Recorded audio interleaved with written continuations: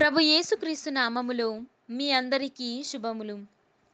సామాన్య నాలుగవ శనివారము.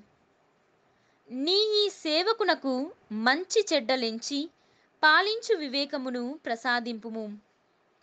మొదటి పఠనము రాజుల మొదటి గ్రంథము మూడవ అధ్యాయము నాలుగవ వచనము నుండి పదమూడవ వచనం వరకు. మొదటి పఠనము రాజుల మొదటి గ్రంథము మూడవ అధ్యాయము నాలుగవ వచనము నుండి పదమూడవ వచనం వరకు. ఆ దినములలో ఒక తడవ సొలోమోను గిబ్యోను ఉన్నత స్థలమున బలి అర్పింపబోయెను. అచట సుప్రసిద్ధమైన పీఠము కలదు. ఆ పీఠముపై సొలోమోను అదివరకే వేల కొలది దహన బలులు అర్పించియుండెను. ఆ రాత్రి ప్రభువు అతనికి కలలో కనిపించి నీకేమి కావలయునో కోరుకోమ్మనెను.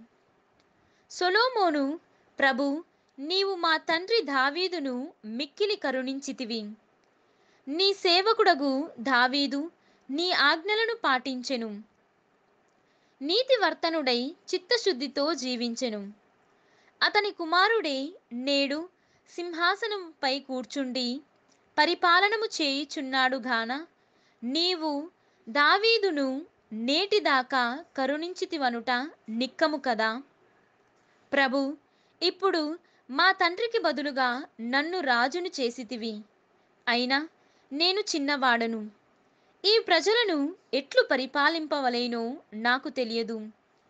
నీవు నీ సొంత ప్రజగా ఎన్నుకొనిన ఈ జనులు లెక్క కందని వారు నేను వీరితో మనువాడను.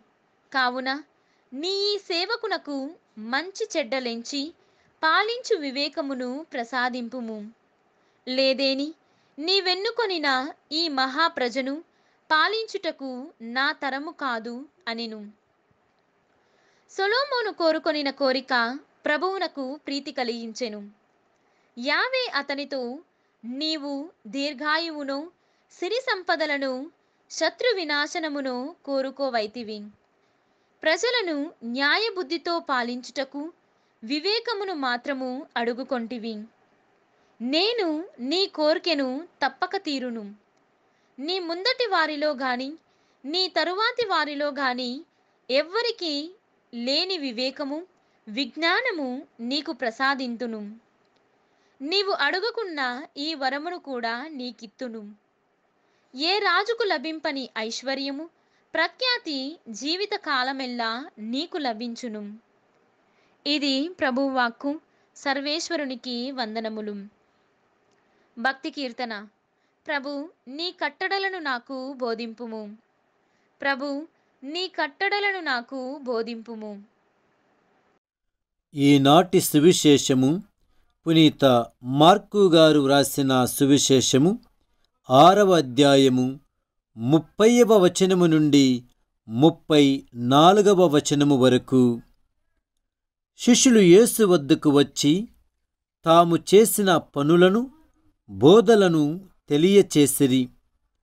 గొప్ప జనసమూహము వారిని చూచుటకై వచ్చుచున్నందున ఆ గురు శిష్యులకు భుజించుటకైనను అవకాశము లేకపోయెను.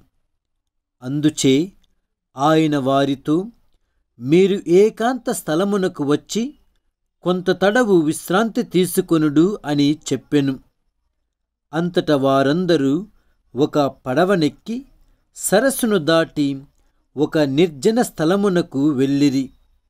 అయినను వారి పయనమును పసిగట్టి అన్ని దిక్కుల నుండి ప్రజలు వారికంటే ముందుగా ఆ స్థలమునకు కాలినడకతో వచ్చి చేరిరి.